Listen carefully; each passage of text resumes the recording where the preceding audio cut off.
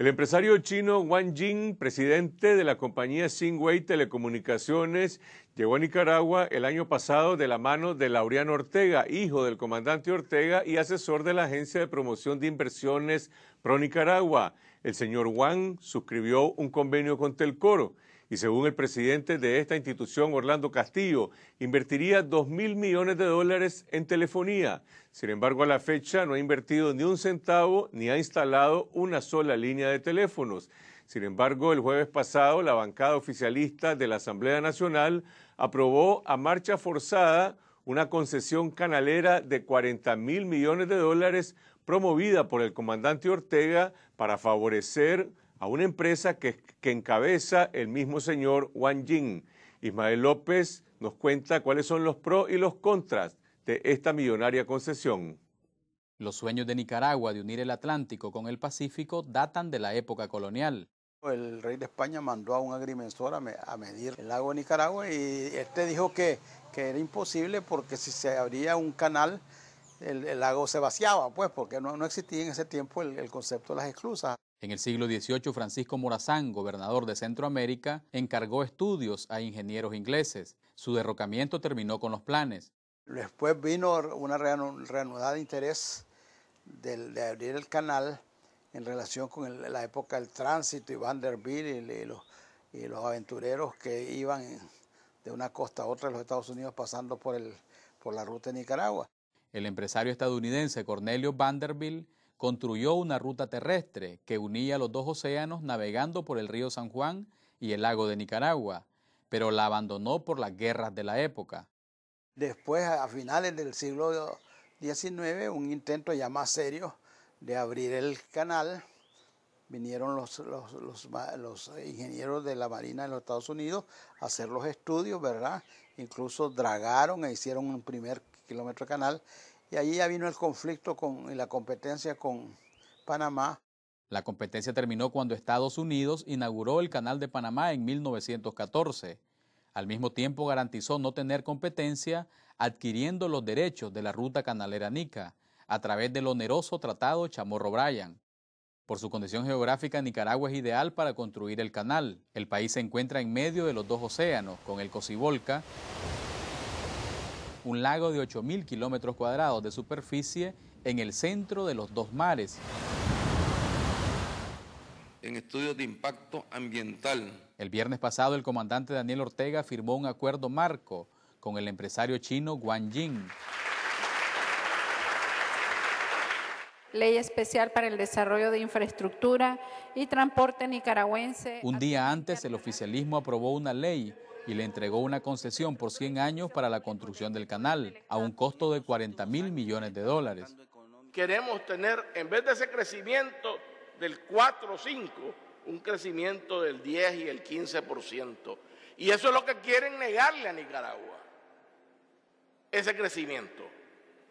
Ese crecimiento que nos va a lograr a un pleno empleo, a llegar al 2018 a dos millones de empleos formales en este país, cuando actualmente hay 620. Pero el proyecto no se discutió. Fue aprobado en tres días sin consultas a la población. Tampoco se explicó por qué, en lugar de abrir un concurso internacional, se escogió de dedo al empresario chino. Formó dos sociedades, una en Hong Kong y otra en las islas del Caimán, sin capital ni experiencia para realizar un proyecto de esta magnitud. Guan Jin, de 41 años, fundó el año pasado la empresa HKND con un capital de 41 mil dólares. También creó dos subsidiarias más, una en Gran Caimán, dueña del 100% de las acciones de todo el proyecto, y otra sociedad anónima en Nicaragua. ¿Quiénes son los socios del señor Guan en este negocio? Él tiene una corporación privada y entonces la información no es pública. No sé quiénes son sus socios. Sé que él tiene el control y él es la cabeza. ¿Aquí quiénes son los socios? No sé, no sé.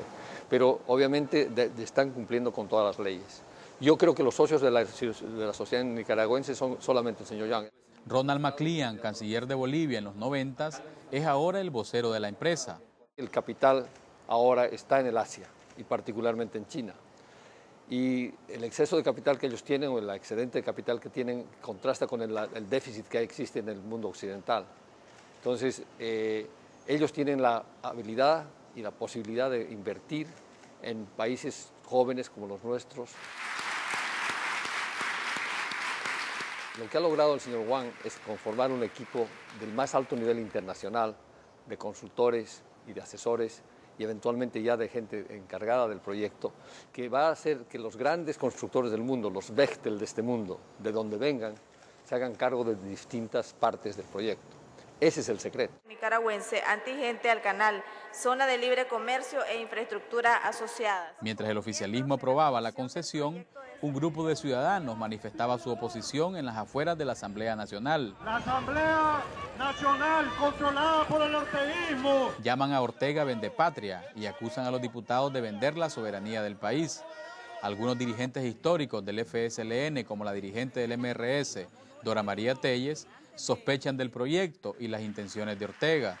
Le está concediendo derecho soberano a, una empresa de que, detrás de la cual seguramente está Daniel Ortega, sobre todo en Nicaragua, porque no hay ruta, no hay ruta, no se conoce quién, de qué dinero tiene esa empresa, no se sabe nada.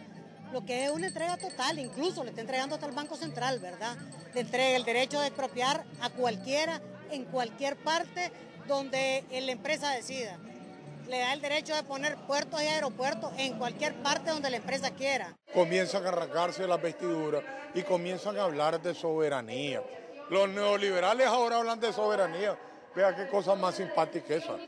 La ley también incluye los derechos exclusivos para construir dos aeropuertos internacionales, dos zonas libres de comercio, un oleoducto y dos canales secos pero también otorga la potestad de ocupar tierras del Estado y expropiar a dueños privados a cambio de un pago equivalente al valor catastral.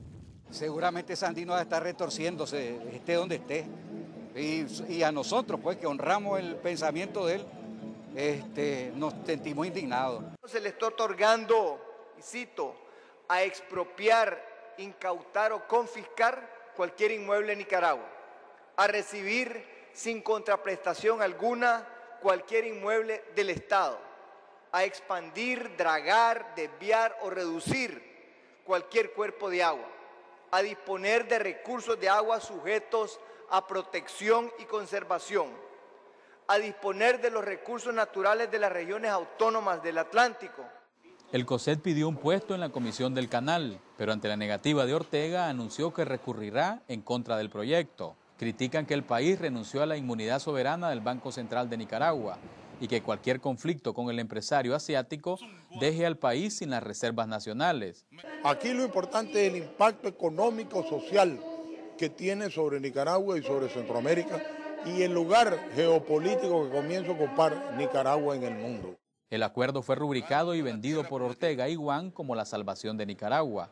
Va a haber presente, porque estamos hablando de un proyecto que ya empieza a caminar va a haber futuro para las presentes generaciones y para las nuevas generaciones de Nicaragua. Y es lo que le va a permitir a Nicaragua realmente alcanzar esa felicidad que tanto deseamos los nicaragüenses. El mundo se cambiará por nosotros. Vamos a traer más felicidad, libertad y alegría al planeta. El proyecto destaca no solo por sus pretensiones faraónicas, sino también por su secretismo. Por ejemplo, nadie responde por qué escogieron a Guam y cuál sería la ruta del canal. Y evitar el regreso de las noches oscuras en la época del expresidente Enrique Bolaño se elaboró este documento de 74 páginas sobre el proyecto del Gran Canal. Se analizaron seis posibles rutas, concluyendo que la más viable es entrando por la isla El Venado en el Atlántico, pasando por el río El Rama y el Oyate, desembocando en el lago de Nicaragua y cayendo al Pacífico por el río Brito en el istmo de Rivas. ¿Cómo una empresa está interesada si no hay una ruta establecida todavía por dónde sería? Así es, ese es el carácter empresarial. Usted se mete en un negocio, si usted ha hecho alguna vez negocios, no con perfecta información. Ahí es donde ganan los arriesgados y los visionarios. Es viable este proyecto. hay dos formas de enfrentar. Por lo general los, los gobiernos para averiguar aquello, como lo ha hecho el gobierno de Nicaragua en el pasado, invierte y contrata a un experto, una compañía y se van los 10, los 20, los 30, los 100 millones de dólares. resulta que el estudio no era bueno, echado los 100 millones de dólares, no sabemos cómo se han ido, a quién se los han dado, cómo han ganado los contratos, etcétera, etcétera. Este es un modelo distinto, es un modelo privado, enteramente privado. Entonces aquí hay alguien con la capacidad financiera de invertir muchas decenas de millones de dólares, no quiero decir un número porque después no se agarra del número, pero muchas decenas de millones de dólares para probar que el proyecto Nicaragua es viable. El presidente de la autoridad del canal, el vicecanciller Manuel Coronel Cautz, alega que los estudios de factibilidad estarán listos en un año. Eso se va a hacer el próximo año, para eso se necesitan los estudios de, factibilidad. Hay que pensar que esto no, no, es no comienza hoy, hoy mismo. Primero tienen que hacerse los estudios de factibilidad. Pero los estudios que el Estado de Nicaragua encargó el año pasado, ¿qué dicen? Son de prefactibilidad. Sí, esos dicen eh, hasta determinado nivel una, una serie de conocimientos que no te permiten todavía tomar una decisión qué no los hacen públicos? Porque no, porque no son permanentes, no tiene sentido, pueden cambiar perfectamente. Pero él está corriendo un gran riesgo. La gente va a comprarse en Nicaragua, van a considerar que el riesgo es aceptable, que el retorno es suficiente. Bueno, él lo tiene que ver.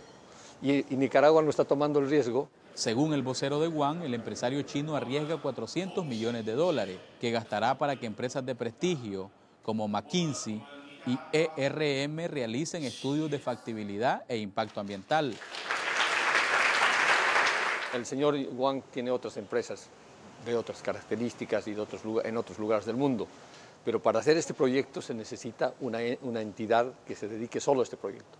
Él ya ha empezado a formar su grupo empresarial, su grupo gerencial, quiero decir, y lo, lo, ha sentado en Hong Kong. ¿Por qué? Porque la inversión de este macro megaproyecto es muy grande. Entonces, él podrá ir hasta cierto punto con su propio dinero, hasta probar que el proyecto es factible y va a salir al mundo a buscar capitales. ¿Desde dónde? Desde Hong Kong, desde Londres, desde Nueva York, desde los grandes centros financieros internacionales. El proyecto está valorado en 40 mil millones de dólares y generó el interés de los principales medios internacionales. El New York Times, Wall Street Journal, la revista Time y Forbes reaccionaron con cautela y escepticismo alzando dudas sobre la viabilidad del megaproyecto y la credibilidad de sus promotores. El gobierno chino no va a participar, no, no tiene una injerencia, pero obviamente está muy contento, me imagino que un empresario chino establecido en China, bajo las leyes de China y establecido en Hong Kong, puede hacer este negocio. Nadie sabe en realidad si el canal será construido o si todo terminará en un gran negocio especulativo sobre todo con los estudios previos a la obra. Es un pequeño porcentaje, pero cuando hablamos de un proyecto 40, pues, de 40 mil millones de dólares, un pequeño porcentaje es una cantidad millonaria al final del día. Para el doctor Jaime Inser Barquero, asesor presidencial para temas ambientales, los daños para el lago de Nicaragua serán irreversibles. Hasta ahora que ya sí sabemos que el lago no tiene la profundidad necesaria y que a pesar del desarrollo de la tecnología, y digan lo que digan, va a haber un problema serio de contaminación ambiental. La excavación de un cauce, para llamarlo así, a través del lago, 85 kilómetros de canal subacuático que tiene que ser abierto de 300 metros de ancho y 30 o 40 metros de profundidad, porque el lago de Nicaragua ya desde antes está bien sedimentado. El lago de Nicaragua es considerado un reservorio nacional de agua potable y protegido por la Ley General de Aguas tiene la capacidad de abastecer a toda Centroamérica. El impacto ambiental es acerca de la pérdida de la potabilidad del lago y indirectamente también acerca de la pérdida de la, de la fauna marina que no puede vivir en aguas turbias. En 2007, cuando Ortega asumió el poder, dijo que por ninguna circunstancia se podría poner en peligro el lago. Así lo registra la voz del sandinismo en su sitio web. Al final lo que quedó fue esta imagen. Nadie explicó de dónde saldrán los 40 mil millones de dólares para la supuesta construcción del proyecto, ni por qué Ortega escogió de dedo al empresario Wang Jing para entregarle esta multimillonaria concesión. Esos son los distintos puntos de vista que están planteados y las primeras implicaciones que se derivan de esta apresurada decisión del gobierno, que demanda un análisis exhaustivo y el pronunciamiento de todos los sectores del país. Vamos a una pausa y regresamos con el movimiento de los adultos mayores, un símbolo de resistencia social. Venimos a cobrar lo que nos debe, vivimos en el seguro. No andamos pidiendo ni lanzando candidaturas de nadie.